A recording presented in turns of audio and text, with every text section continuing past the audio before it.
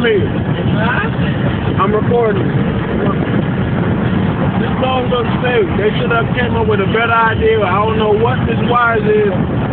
Crash happens, nobody can get in the grass or nothing. Ice rolled up, everybody just go pile in one to another.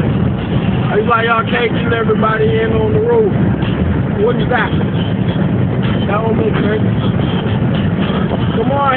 Clay County, Georgia, what's going on? This is not a smart way to spend money. Come on. And then y'all trying to go ahead and um use the money before Obama get out for the next dude come in when the come in.